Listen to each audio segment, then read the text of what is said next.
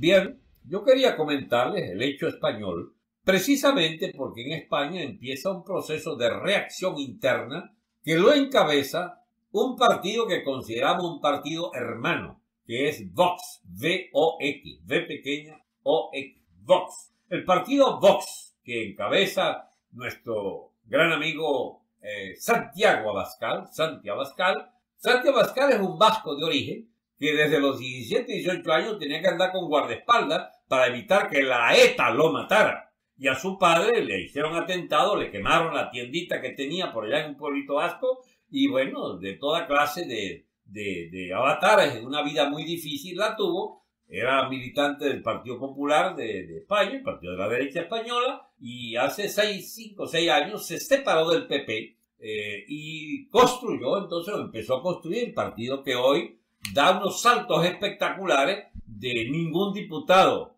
a 10 diputados y de 10 a 56 diputados en la última elección, todo eso en tres años. Y ahora, si hubiese elecciones, el Vox puede o ser partido de la mayoría española o ser por lo menos uno de los dos partidos mayoritarios de la derecha. A saber, si en España hubiera elecciones hoy de un congreso de hay 300, creo que es 330, algo así, 300, 340 y pico de diputados tiene la Cámara de la, Corte de Diputados de España. Ese tipo de gobierno es muy distinto al que nosotros conocemos en estas latitudes. Ni siquiera Estados Unidos se parece. Estados Unidos es república, recuerden, de, de ¿cómo se llama? De estamentos jurídicos separados del Estado por legislativo, por ejecutivo judicial. El reino de España no es república, es un reino, es una monarquía. El jefe de Estado es el rey. Pero el gobierno es la figura que reúne a los españoles, la figura del rey. Heredada de Franco, por supuesto que heredada de Franco.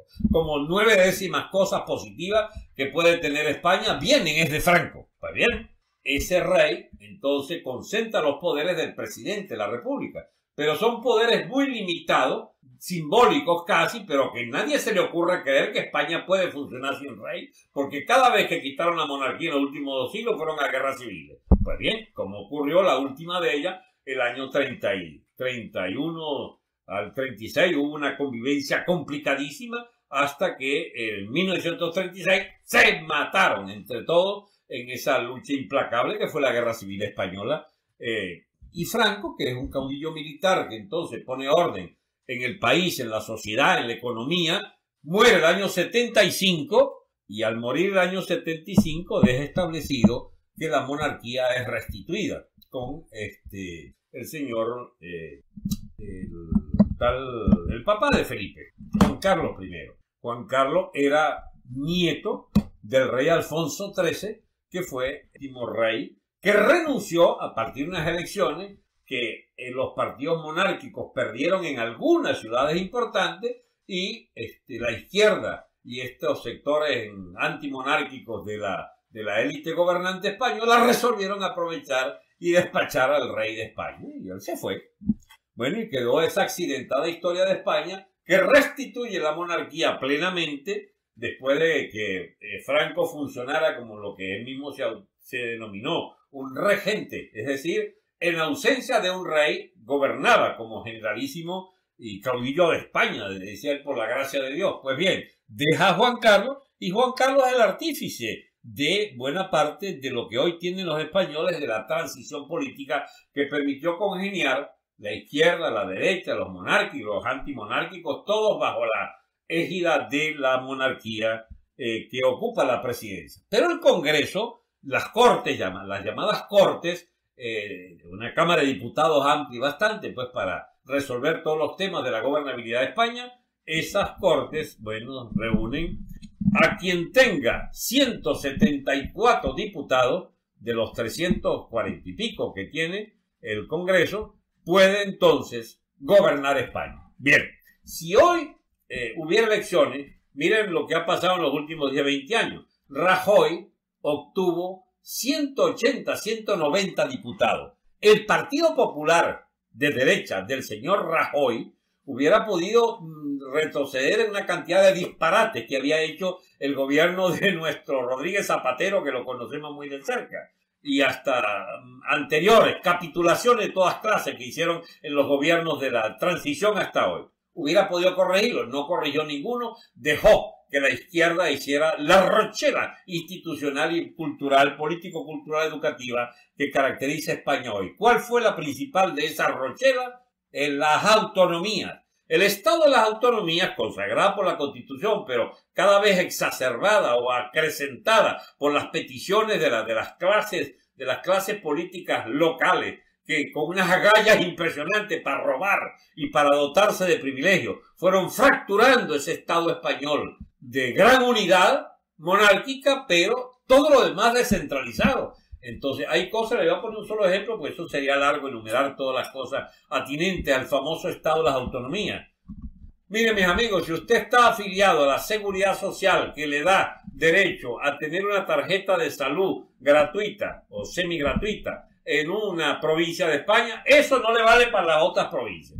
Es como si usted fuera portador de una cédula, de una cédula de identidad que si es de Madrid, le da unos derechos en Madrid que no los tiene en Carabobo, que no los tiene Perón, que si fuera de Venezuela usted los tiene en Caracas, no los tiene en Maracaibo o carece de ello en Barquisimeto, porque está todo ello tasajeado en las autonomías. Bien, ese estado de autonomía pudieran haberlo corregido el señor Rajoy con o por reforzar la, la unidad del Estado español, pero no quiso. Y este hombre, que era el colmo de la inutilidad y de la, y de la, y de la estupidez política, este, temeroso de todo, bueno, fue llevando a España a esta especie de acabose en que lo deja convirtiendo al señor Sánchez en el sucesor. El sucesor que recoge las banderas de Zapatero, que había llegado al poder después que volaron un tren y ciento y pico de muerte, un atentado y que, y que islámico que nunca se supo que era, que para muchos otros es un, es un atentado de la ETA, de la organización terrorista vasca, que tampoco pudo demostrarse nunca, porque todo el aparato judicial, el aparato policial está envenenado de toda clase de mafias internas. Pues bien, en esa España donde el Congreso con 174 diputados pueden hacerlo usted mayoría para gobernar España, no hay quien los tenga. El Partido Socialista los tuvo Rajoy y lo desperdició cuatro años. Y bien, hay entonces, en esta situación, ¿quién gobierna? El Partido Socialista tiene 121 y los otros 40 o 50 que le faltan, entonces los reúne reuniendo el perraje de España, de la ultraizquierda, de los partidos secesionistas, de los partidos, ¿cómo se llama?, regionalistas más, más reivindicadores de, de sus cuotas regionales de poder, en particular los catalanes y vascos, todos asociados a el festín de agarrarse una parte del presupuesto bajo chantaje y bajo presión, apoyan a Sánchez, sí, pero a condición de que dame y dame y dame y dame para las autonomías regionales. Bien. Eh, si hay elecciones porque este gobierno está haciendo aguas, este es un gobierno de incapaces como nunca vio España, este es el gobierno para niños, niñas y niñes, este es el gobierno de el orgullo gay manifestándose cada vez con más ímpetu, este es el gobierno del despilfarro, este es el gobierno de los escándalos de la burocracia, aunque les digo una cosa, mis amigos, siempre hay que ver las realidades en relación a otras. Hay, por ejemplo, la corrupción política, la corrupción administrativa, el robo de dineros públicos. El mayor escándalo en muchos años, ¿saben usted cuál es en España? El del Partido Socialista que se robaron con los sindicalistas en Andalucía. Creo que son 700 millones de dólares. 700 millones se lo ha robado fácil el último muerto chavista, el tal García Carneiro. Pero fácil. García Carneiro ha robado 2, 3 mil millones de dólares. ¿Cuánto se habrá robado Aristóbulo? Es decir, lo que se roba un solo chavista prominente da para toda la clase política esta del Partido Socialista robando el presupuesto de Andalucía. Amigos, definitivamente nuestro nivel de corruptela es 50 veces superior a España. Hasta con cifra pudiera demostrar.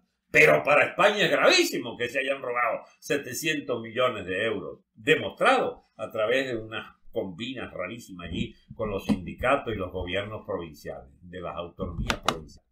España, tras 40 años de gobierno autonómico, mis amigos, de gobierno de ese conglomerado de autonomías que despachan y se dan el vuelto ellas mismas, este, bien, está agonizando como sistema político. O hacen una reforma de fondo, como la que propone vos, es recentralizar el Estado español y dar el derecho a todos los españoles a tener una sola unidad, digamos, educativa, eh, sanitaria, etcétera, porque se ha demostrado con la España y las autonomías que la, el, bandidaje de las cofradías locales, bueno, encarecen todo y hacen vulnerable la salud, la educación y los derechos de todos. Y esta piltrafa de la política del feminismo, de las feminazis estas que cunden en España y que postulan toda clase de disparates, lo que hacen es, este, eh, ¿cómo se llama?, atribuirse reivindicaciones que vulneran los derechos de otros españoles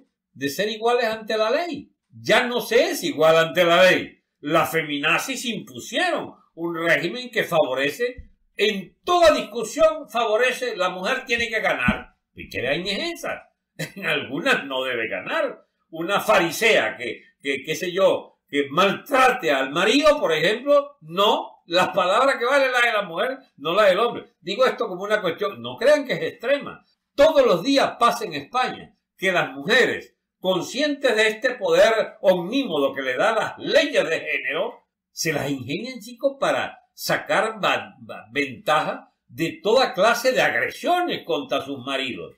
Así es, como lo están oyendo. Yo no soy, a mí alguien me escucha, ese es un machista heterosexual, eh, ¿cómo se llama? De, de, no solo, no solo heterosexual, sino de patriarcado heterosexual masculino, eh, ¿cómo se llama? Machista, machista, machista. Bueno, mis amigos, eso se paga en una sociedad que, donde usted presencia verdaderas enajenadas mentales en la televisión y que hacen del aborto como si fuese celebrando la vida, celebran es la muerte de los, de los fetos, celebran es toda clase de atropellos contra la, la digamos, la, la cultura general, contra la educación a la que quieren deformar completamente mediante estas prédicas y estas prácticas del feminismo ultranza. Escúcheme, mi amigo, las sociedades enloquecen también. Yo no estoy hablando acá de temas que son desconocidos para un español, pero en Venezuela todo esto pasó a quinto orden, porque el problema nuestro es sobrevivir como nación, sobrevivir en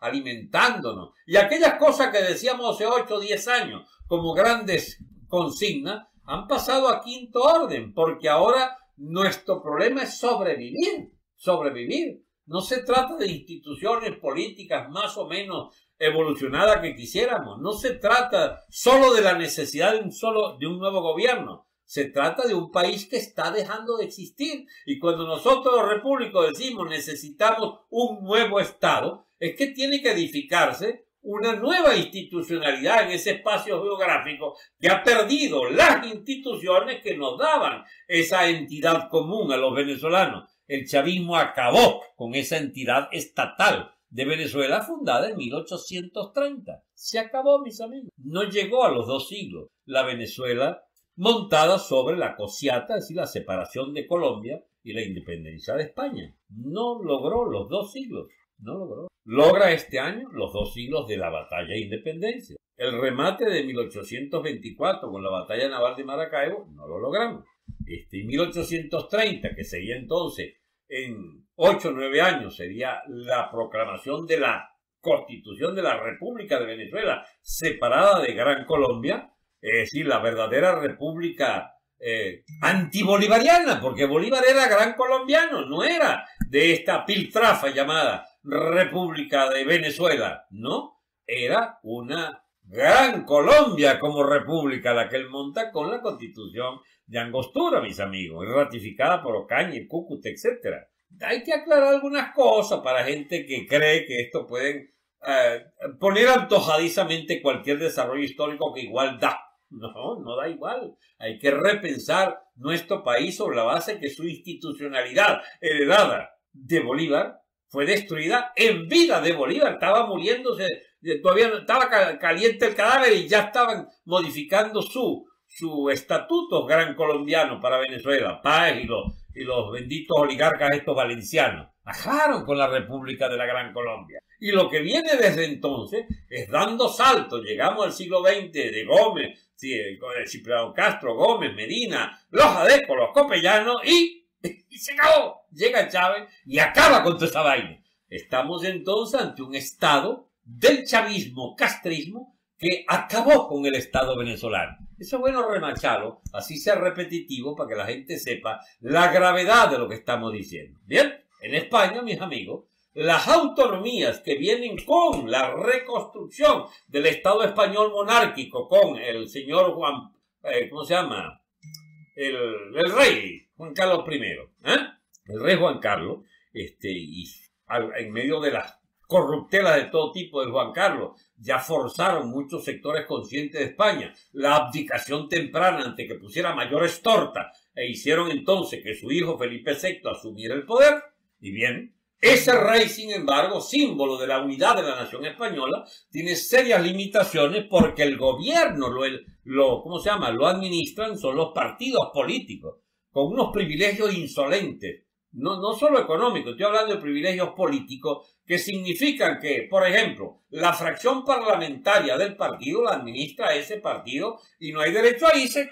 No, usted tiene que renunciar a la cuota del Congreso. O sea, eso es que se va fulano para otro partido, eh, que renuncia. No, no, no se puede. Es de ese partido hasta que al final, bueno, se acá hay nuevas elecciones entonces usted, bueno, tendrá derecho o lo sacan de ese partido. Pero esa, esa manía por conservar el, el privilegio de casta política, de elección obligada, que tú te metes en un partido y te tienes que quedar en él hasta las próximas elecciones que te saquen o no te saquen. Esas fracciones de partido son las dueñas de la negociación, qué tipo de gobierno se hace. El que montó Sánchez con los locos estos de Atar de Podemos, la feminazis esta, los separatistas catalanes y los separatistas vascos, agoniza en medio de una crisis descomunal provocada no solo por el coronavirus, sino por la desconfianza masiva. Y la economía española está pero reventándose. ¿Y qué está surgiendo? La necesidad de volver a los viejos temas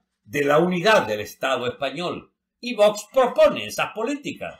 Para empezar, la política contra la inmigración ilegal, la política de la defensa de la independencia de España respecto a Europa. No para que haya que romper con Europa, sino para ponerle límite a los burócratas infames estos de Bruselas que van metiéndose en todo y te impiden, que sé yo, que tú puedas vender la aceituna o vender no sé qué vaina, porque hay un tratado de Bruselas que garantiza no sé qué cuántas aceitunas puedes producir o cuánto jamón puedes exportar o lo que fuere. Esa economía europea es a su vez otra calamidad, pero bueno, España ha ido ganando muchos espacios en, no sé, los aspectos más parasitarios de la economía, el sector de, o de empleo menos cualificado, como es el turismo. Sin embargo, España ha hecho maravillas con su, eh, digamos, ingreso de los habitantes de forma en la economía interna. Pero bueno, desindustrializaron el Partido Socialista y el PP desindustrializaron España. La industrialización que daba a España el octavo lugar de las economías más desarrolladas fue desmantelada porque era la economía franquista. Bueno, mis amigos, esa economía franquista era diez veces más sólida de lo que es hoy la España de hoteles, mesoneros, etcétera, eh, mucamas, no, no, no, quiero ofender los oficios nobles de todos los que trabajan para ganarse la arepa en la hotelería española, en el turismo. Pero mire, la vulnerabilidad de la economía española viene del abandono del esquema de la economía franquista. Pero eso es pecado hablarlo en España. No sé si ustedes están enterados que si uno habla así, uno es fascista. los izquierdosos, esto. Y todos los, los derechistas. Mire, es una cosa tan seria que hasta el propio Vox teme hablar claramente sobre estos temas para, para, no, darles arma de discusión fácil a la típica estupidez política ambiente que dice que si tú defiendes a Franco o a la economía de Franco, eres fascista. No, chico, defienden lo que era mejor de España en su momento y con toda la potencialidad que tuvo España bajo el franquismo.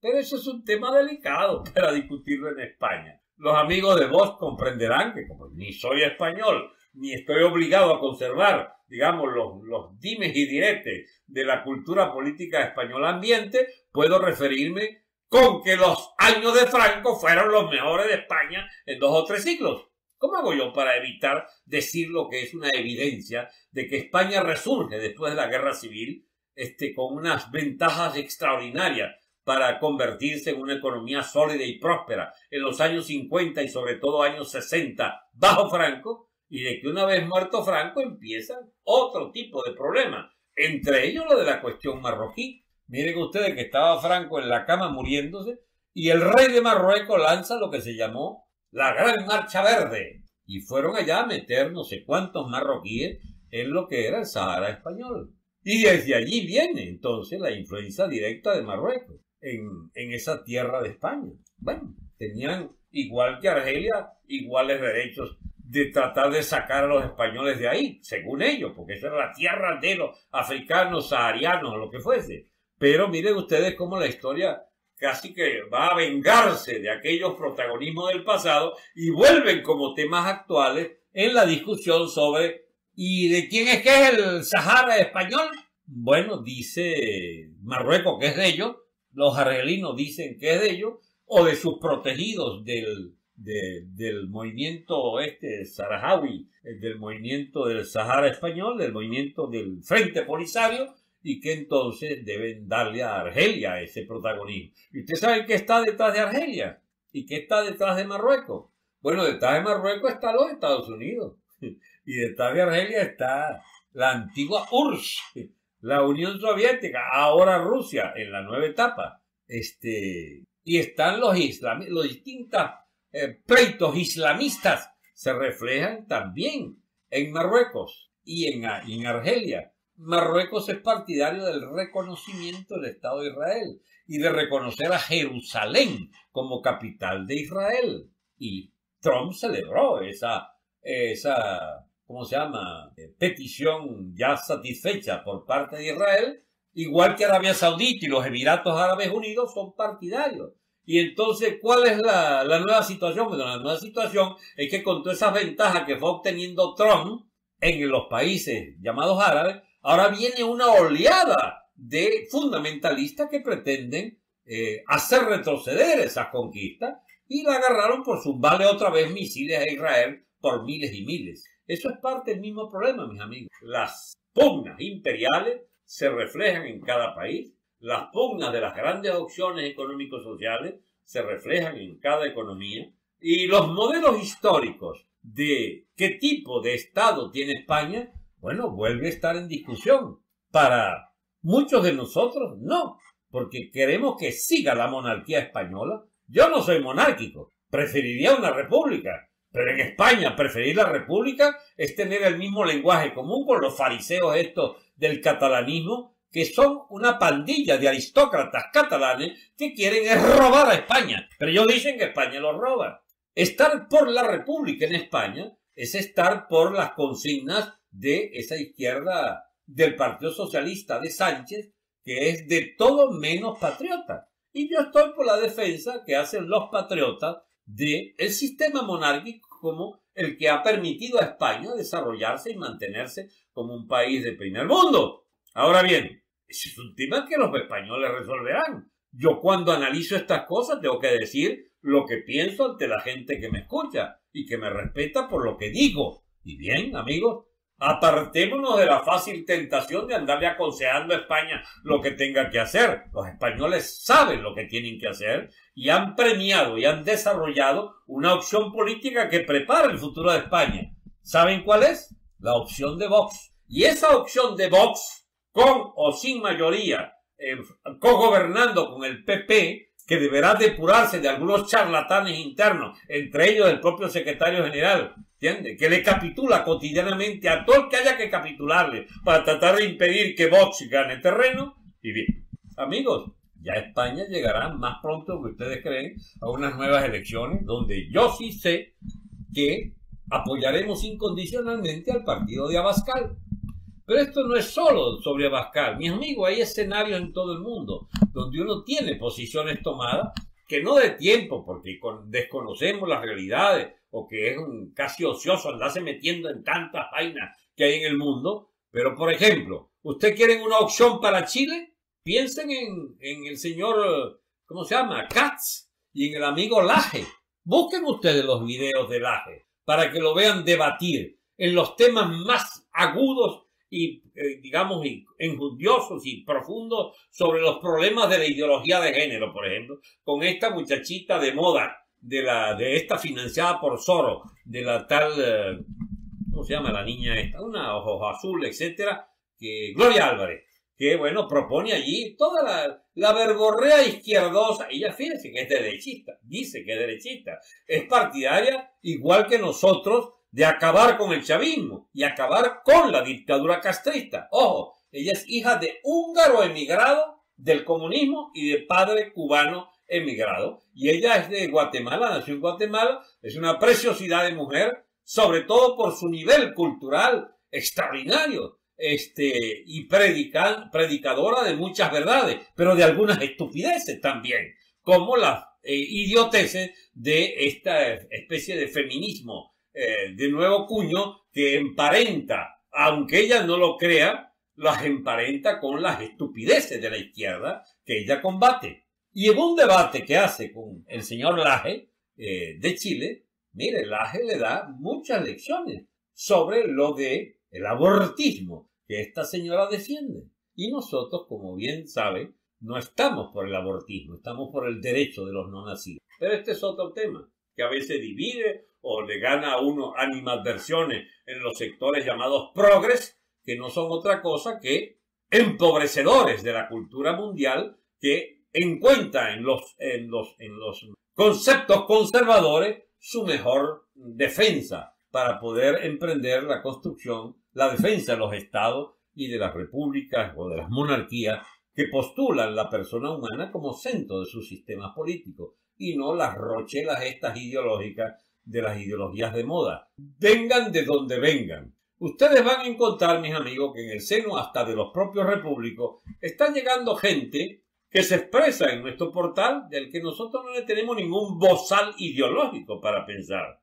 se expresan cosas de las llamadas nuevas posiciones y nuevas teorías. Bienvenidos. Nosotros defenderemos nuestras concepciones tradicionales, nuestras concepciones llamadas de derecha, pero nosotros no, no nos identificamos con esto de izquierda o derecha. Nosotros somos patriotas. Nosotros defendemos una concepción de sociedad y de Estado que, por ejemplo, los Estados Unidos nos hermana es con el sector Trump del Partido Republicano, que felizmente es ampliamente mayoritario y que no se sabe si antes de las próximas elecciones ya estará en posesión de la propia presidencia que se la robaron en unas elecciones malhadadas con maquinitas en Marmatis mediante en el, en el 3 de noviembre pasado. Amigos, aquí en Estados Unidos no está todavía liquidada la discusión sobre la herencia esta de esas elecciones del 3 de noviembre. Pero eso es otro tema.